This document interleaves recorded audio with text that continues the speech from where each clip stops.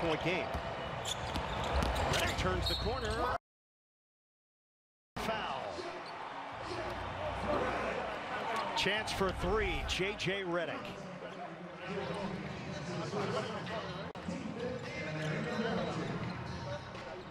That's back-to-back plays by Redick going to the basket. A dish off of penetration and then a finish and an and one. You know, when you're a guy who shoots